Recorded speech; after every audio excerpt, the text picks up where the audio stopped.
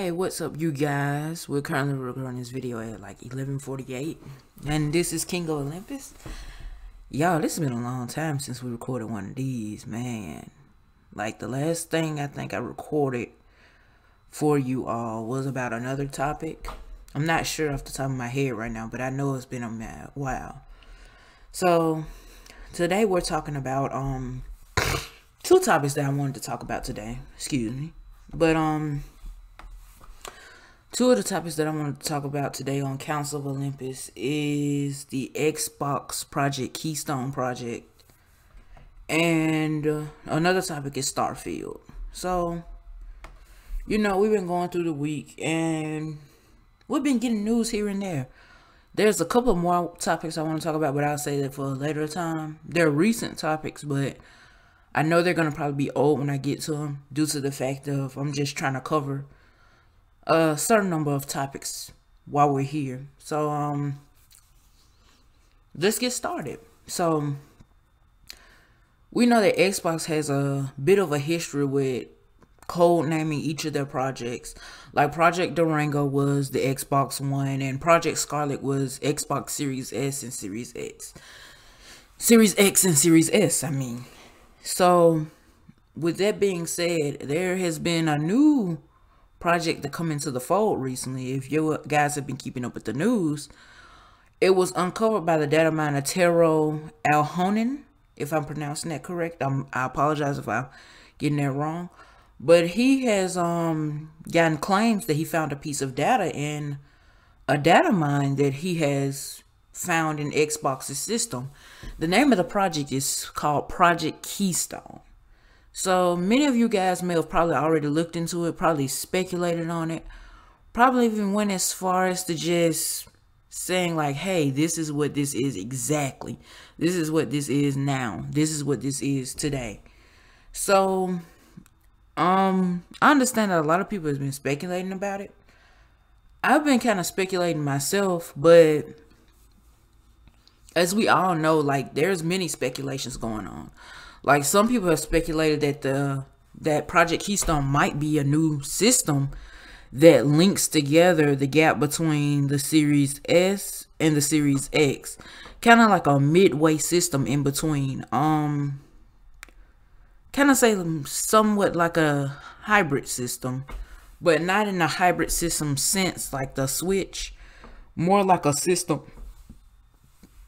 that's kind of mid-tier kind of like you would have an iPhone 13 and an iPhone Pro and an iPhone Pro Max sort of situation. So, um, it's kind of a situation where, um, I guess the Series S is supposed to be low tier and the, the supposed project, the supposed project Keystone is going to be mid tier while the X is going to be high tier. It's going to be like PC stance system. So with that sounding, it sounds good.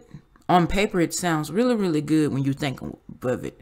Kind of like you got the situation where you kind of got a, a Wii right here and a Wii U being the high tier and then the Switch being in like somewhere in the middle due to a hybrid system. But um, I highly doubt that it's a new system right now because of the fact that uh, the Xbox the newest Xbox just came out like the beginning of the well no not the beginning but the end of really 2020 beginning of 2021 so with that being said i highly doubt that it's a new system. If if at the most if it's not a new system it's probably an improvement on something which brings us to the next speculation that speculation number two, people have been saying that the new project might be the revival of the Xbox Kinect line.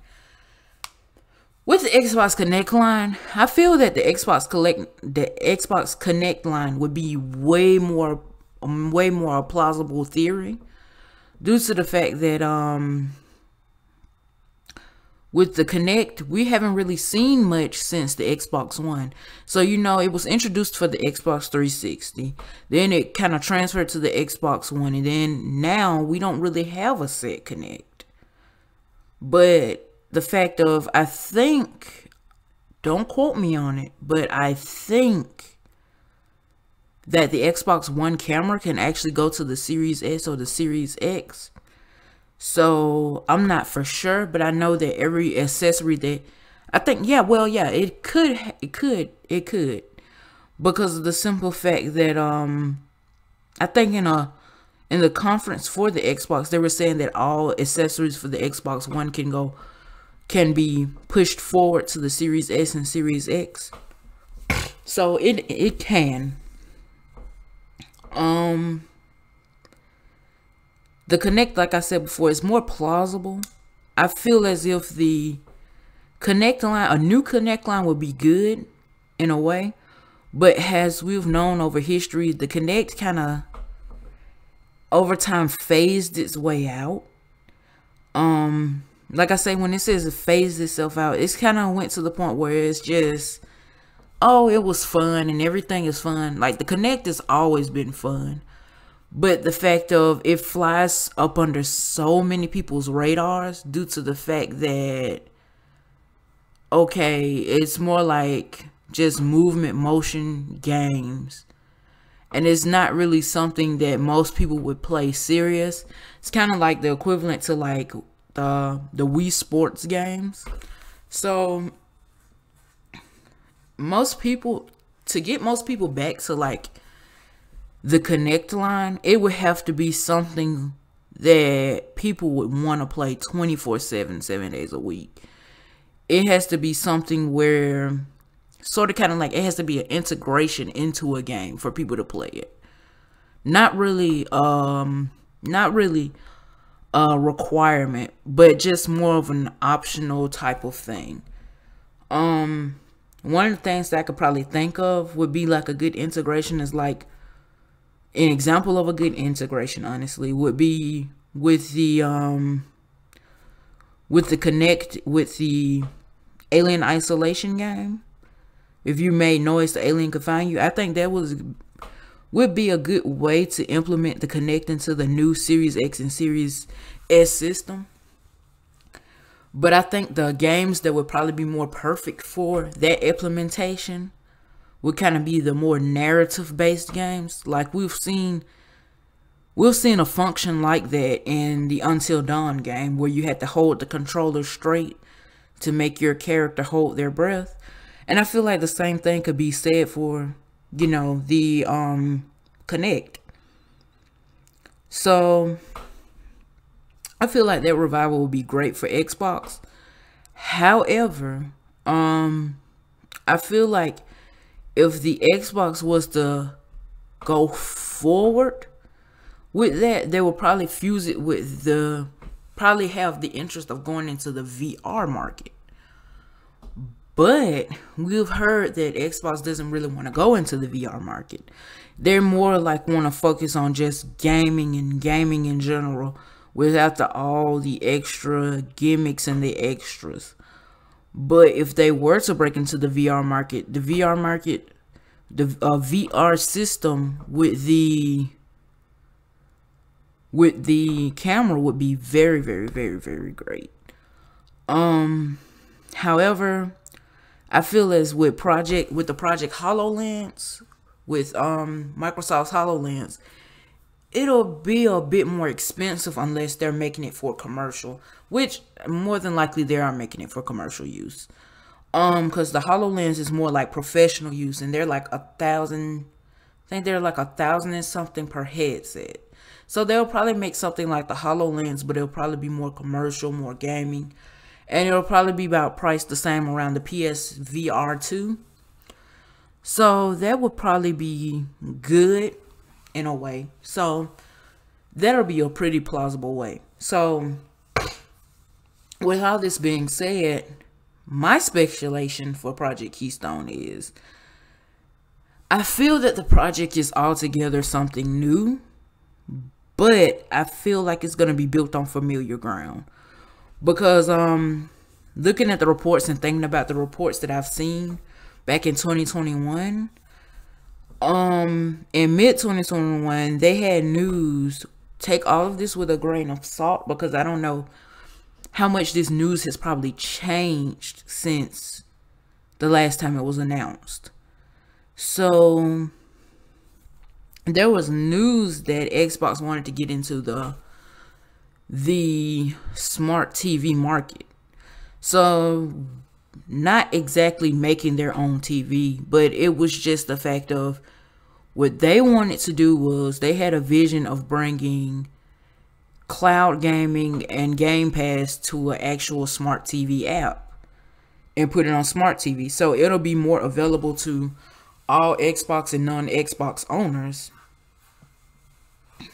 So, with that being said, that would have been good for marketing due to the fact of you might have people who want to get into Xbox gaming, but they can't due to budgets. So, what better way of doing this by making an Xbox app for TVs and just having them buy the bundle with the Game Pass and a controller and they can just plug it up to their TV and connect. So I feel that was like a way smarter decision. I feel like Keystone is exactly just that. I feel as um I feel that Keystone is basically just that project. It's just yet to be announced because Phil Spencer was even going as far as to saying that he wanted to release a streaming stick for the Xbox. He um he wanted to make a streaming stick that would go into people's TVs and they can just play the Xbox from there, just get a controller and Game Pass. So I feel that um with xCloud being improved and um Game Pass is coming through with very good strides, I feel that it's more plausible. It's probably way more plausible that Xbox is probably preparing Keystone as this more more of a big shift towards um cloud gaming. I feel that Keystone is going to probably be the next evolution in the Xbox lineup. It's going to probably either be a streaming stick or an app that goes on TVs.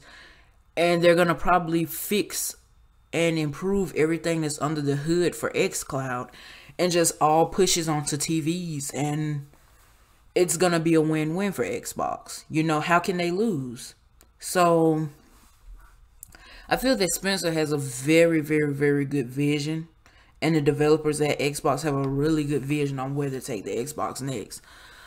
I feel as if um Xbox is just always have been on the horizon of this, especially with them being, you know, backed up by all the subsidiaries of um, Microsoft. And it's just kind of like, with all this being said, you know, like I said, how can they lose? So on to other news, we see that Bethesda has gotten letting us get another peek into um Starfield with their new episode into the Starfield episode 2. So we started to see new things like we started seeing um new companions, factions mentioned, everything under the sun basically. So um I think I want to start with the factions mentioned due to the fact of um all of these factions are really really great. Um i've they have the united colonies which is basically like the united states takes over space. Basically it's just like all of the us is in space. Then you have the um, Freestar Collective, which is basically like a space western, basically cowboys in space. It's just the Wild Wild West in space which is pretty good. I think I like the idea of the Freestar Collective. It's they're kind of like the uh, kind of like the rugged guys who just taking what's theirs in space.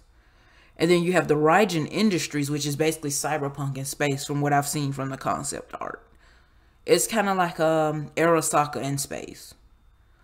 So, and then you also have the Crimson Fleet, which is basically just pirates in space. So all of these different um factions, I know there probably might be more due to the fact of how Bethesda works. So with these colonies, I feel like it's gonna be some good, good, good, good, good gameplay between these colonies. And as mentioned, they also said that you can also play as like a double agent in each of these colonies.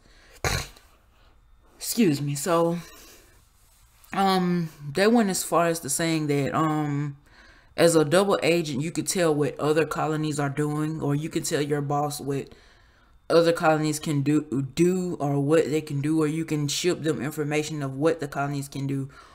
Or you can just play it safe and just go as your role inside with them and just be with, up under their rule. So i find that pretty cool. It's kind of like um starfield is kind of playing the field of the comparison that I really want to make is um it's kind of as if they're using the system for Fallout and Skyrim and Oblivion, but they're kind of mashing them up all into one, like the skill trees. Like um, your character can actually have traits. Um, you can customize them how they want. You customize their pronouns. It's kind of, it's kind of like they're mixing those together but it's like they're throwing in a little bit of the outer worlds into it the worlds are more like um kind of like it kind of I've noticed that the color scheme and kind of the feel of the game kind of takes things away from NASA. A lot of um space stations that we have in space, it's kind of like it's kind of just fusing everything we know, both pop culture and gaming together and I kind of really love this game. Like I can't wait to actually get my hands on it because I'm really trying to scratch an RPG itch that I have. But um, it's really good how it's um kind of marketing itself. I kind of love the fact that um that the way the lore kind of sets it up, it kind of just the game kind of sets you up as this I guess this unknown kind of astronaut. I don't know if you're gonna have your story, a little piece of your story with you, like we did in Skyrim, where we were kind of like the sky, the um, where we're kind of like the Dragonborn, and we just went through the game, kind of really figuring things out. But um, from what, from what um, Howard has said, he said that um we're basically writing our own story. We're basically just writing our own story in the stars.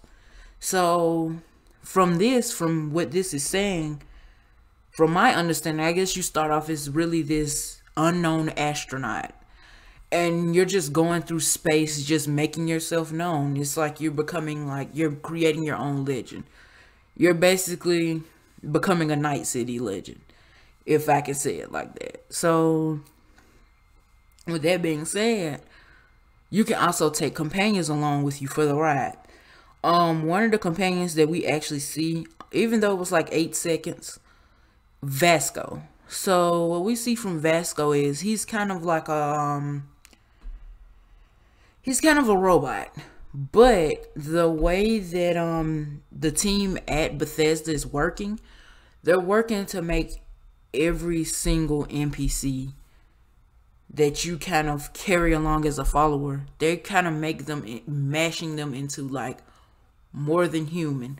They start to question your motives. They start to um like and dislike what you do. They kind of side with what topics is this. It's kind of basically what we saw in Fallout 4 basically. So everything of that matter is just exactly like it is. Kind of the game is going to be kind of classic Bethesda, but everything is going to be all their previous games racked up to 10. So everything is going to be basically a whole new advancement of everything else. So it's pretty good to see. Pretty, pretty good. I'm really excited about it. And, um, Speaking of RPGs, another one that I'm really excited about is Hogwarts Legacy. I really, really, really want to get my hands on that. I love, I love the Harry Potter series, and I just feel like that's another one that I have to get my hands on besides Starfield. I think number one priority for um number one priority for RPGs right now is mostly Starfield. Um, with that being said, I feel that um Elden Ring and Starfield is gonna really have most of my attention this um this season. So with with all those games kind of lined up, I think I'm gonna re-hop back into um Valhalla, and I'm gonna also just play a lot of Starfield and a lot of Elden Ring until we see until we see a lot more of um Starfield. um I really just I'm really really excited for Starfield. I really am. Like I'm just in shock right now because I never really thought a new RPG would come along this like this quick.